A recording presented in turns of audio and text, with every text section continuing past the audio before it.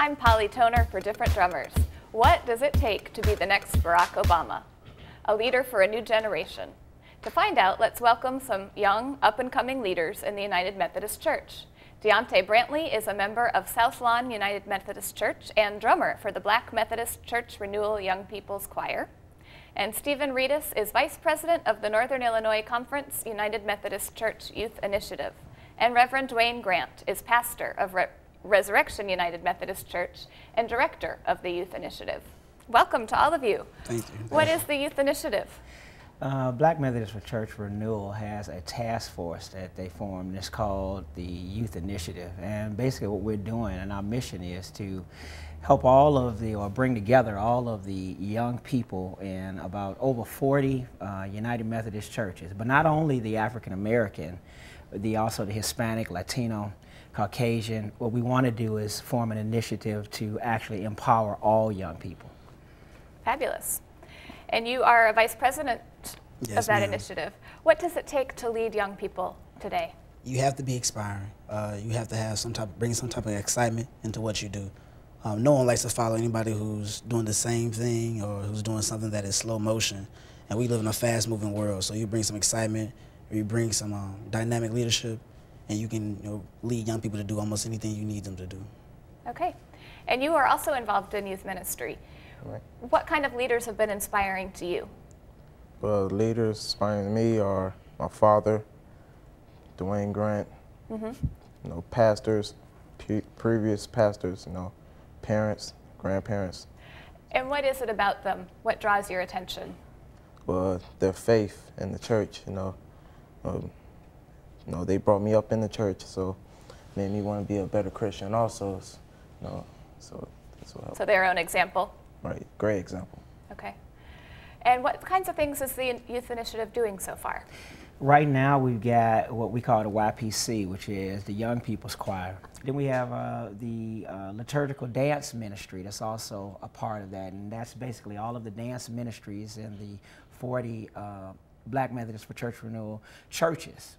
So they're doing they're, we're, we're, we're, we're working with the youth and helping them strengthen their faith and also keeping them active because we uh, a lot of youth feel that they're not represented Okay. and, and our mission is to help them feel, you know, encouraged.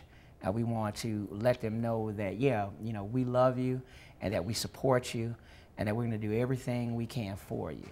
And that's, that's really what the youth initiative is about. And we're using the choir and the liturgical dance ministry and some advocacy things, some things that we're going to be doing politically just to help the young people to come together. What is it like when you perform? It's amazing, you know. Um, I just love performing, playing for the Lord, playing the drums. It's my passion. You know, every time we go somewhere, you know, I try to give my all, give 100%, play my best. What kinds of things are you doing to draw youth into this youth initiative?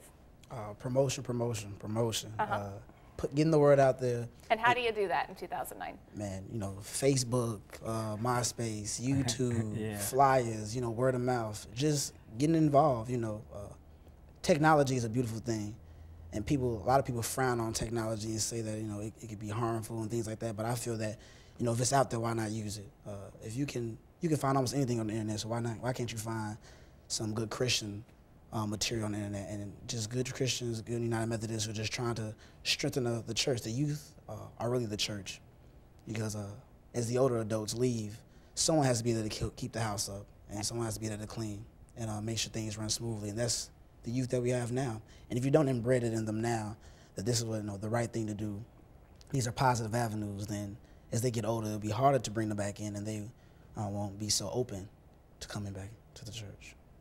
How has what you've learned being youth leaders maybe impacted what you will do in the future or what kind of a leader? We're talking about who, who will be the next Barack Obama. Have these experiences been informative? Uh, yes, uh, you really learn to think on your feet.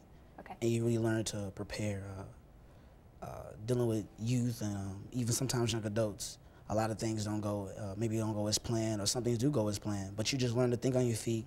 You learn to interact with people of all different races, uh, as we said, the BMCI initiative, the youth initiative, we're trying to do the uh, Latino, Hispanic churches, the Caucasian churches, even if so, Asian churches, and um, just really learning how to interact with different people.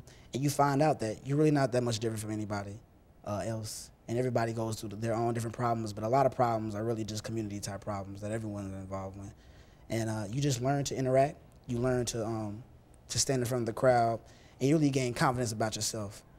Uh, so it's been a great experience. I see your pin says Rethink Church. Does Yeah. that theme intersect with your work with young people? Yeah, yeah, it does. That's a new campaign at the United Methodist Church, and uh, myself and some other some of the other young pastors, we are getting fully behind the Rethink Church campaign. And what it is, we're trying to do church differently, and, and where it's coming from is not using church as a noun, but using church as a verb. And I'd like to say using church as an action verb, mm-hmm. making sure that we're getting out in the community, that we're, we're, we're, we're talking with our young folks, we're bringing our young folks in. Like I'm involved with Ceasefire, uh, the Southwest Organizing Project, and I'm, I'm dealing with, uh, uh, with, with those projects, not only folks that are involved in the United Methodist Church, but also with rabbis and, you know, people uh, from the Catholic Church, and we're just trying to all come together, and we're trying to do positive things. It sounds like both of you were brought to the church by your families. Your families were involved. What do you think? Is there a difference between opportunities to be youth leaders in a religious environment versus in your schools or in the community? No, I don't think it's really a big difference. It's just, you know, you just have to have the mind to really get out there and try to work hard and have, you have to have a good imagination because you have to reach out to those and try to gain their attention. Do you have any favorite stories, favorite memories from events that you've been a part of? Um, 2007, I went to a SPLAT. Uh, C, it's an acronym: See, Play, Learn, Act, Teach. Uh, sponsored by the United Methodist Church, and there were 9,000 youth from across the nation Wow. of all different ethnic backgrounds, and, and this was a great experience. We're in Greensboro, North Carolina, and you met with a lot of people that you wouldn't normally meet. You wouldn't normally sit in rooms with them or hold conversations with them. And those type of events, you form long-lasting relationships, and you see them, you know, maybe another couple of years, or sometimes you don't see them ever again. But you try to keep in contact with them as much as possible. But you learn so much about you know what's going on in, in Montana or what's going on in Kansas and Florida and California. And sometimes you get so bogged down with trying to do ministry and trying to do the right thing in your own city that you forget there's a lot of things going on in other places. And you really learn how to interact with people and help other people. And sometimes they come, come around and help you. And it's always good to just do ministry with, with a lot of different people.